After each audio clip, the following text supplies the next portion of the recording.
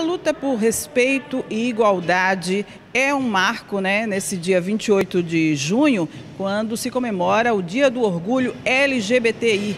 É uma luta que vem sendo travada há muitos anos, inclusive a partir de 1969, de um movimento que surgiu nos Estados Unidos e que deu origem a essa, essa data, essa comemoração. A gente vai falar mais sobre isso, a origem né, desse movimento todo, com o Marcelo Lima, que é presidente da Adonis, a associação que é uma associação que atua em defesa né, dos homossexuais de Sergipe, todo esse público LGBTI. Fala para a gente dessa data primeiro, por que, que, que surgiu né, o 28 de junho como uma data marcante para esse público? Então, é uma luta é, histórica, onde o bar Stanley que era frequentado por, por gays, lésbicas, ele foi invadido por policiais americanos, fazendo uma batida porque o preconceito também já era grande. E aí os homossexuais, as lésbicas, iam para um espaço que pudessem namorar, curtir. E nesse dia dessa grande invasão, eles reagiram. Eles pediram liberdade, eles pediram a paz, o mundo, a liberdade. Foi quando surgiram as paradas LGBTI no mundo, que começou em 1970, após a Revolução Stonewall. Por isso que hoje é o dia do orgulho, que nós temos que mostrar a cara, mostrar quem somos, porque nós precisamos mostrar a nossa cara e dizer que somos cidadãos de direitos e merecemos respeito.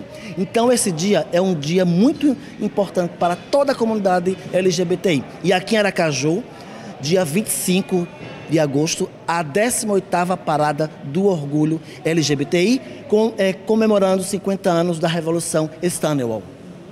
Você acha que tem mais o que comemorar ou mais o que lamentar? Porque a gente ainda tem muitos casos ainda de mortes, de perseguição, é, muita, muito afronta aos direitos né, da pessoa. Então eu queria que você falasse, fizesse um balanço disso. O que é que você considera nesses 50 anos, por exemplo? O que é que vocês conquistaram e o que ainda tem ainda muito a conquistar?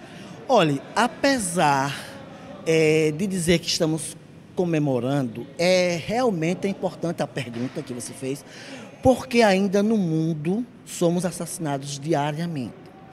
O Brasil ainda é campeão a cada 16 horas um LGBT é assassinado. Mas nós também temos que celebrar a vida, porque nós existimos e, e precisamos resistir para poder existir. É motivo de comemoração, embora que preze as violações de direitos humanos, mas hoje, por exemplo, nós temos uma vitória importante. Aprovamos a LGBTfobia no Brasil. Isso é de comemorar, sim. Isso vai inibir os crimes LGBTfóbicos.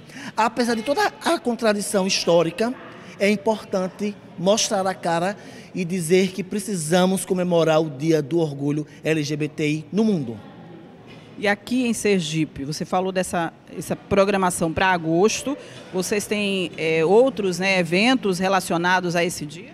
Dia 19 de julho, no Centro Cultural de Aracaju, lançamento da 18ª Parada, onde começa uma série de atividades com debates, é, falas importantes da militância de todo o Brasil que vem aqui para o lançamento. E é uma comemoração durante o mês de junho, julho todo, até chegar o, o dia final. Bem, Marcelo. Mais uma vez, obrigada. Parabéns pelo trabalho que você vem fazendo com essa associação. Outros também líderes aí de organizações que estão nessa luta. Parabéns por todo esse trabalho de vocês e obrigada pelas informações. Voltamos ao estúdio.